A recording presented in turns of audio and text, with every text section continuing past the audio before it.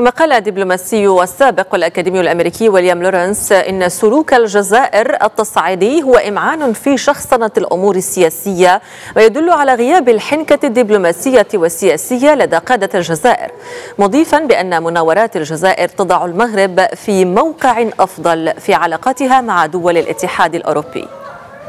يرغب الأوروبيون في علاقات طيبة مع كل من المغرب والجزائر لهذا فالتصعيد حول ادعاء حرائق الغابات والتصعيد في المجال الجوي وغيره ليس هو ما ترغب فيه أوروبا ولا ترغب أوروبا في اتخاذ مواقف إزاء مثل ذلك التصعيد.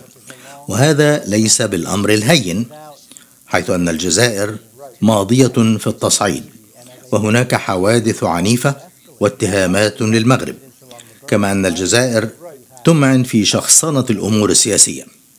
فعلى سبيل المثال قطع الرئيس تبون العلاقات مع فرنسا بسبب جملة واحدة قالها الرئيس الفرنسي ماكرون لمجموعة من الطلاب بينما كان تبون في زيارة لفرنسا.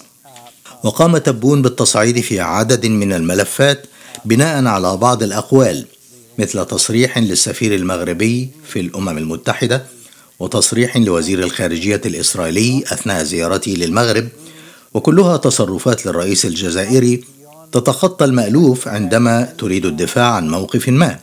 وذلك على ما أعتقد يضع المغرب في موقف أفضل من الجزائر في العلاقات مع أوروبا.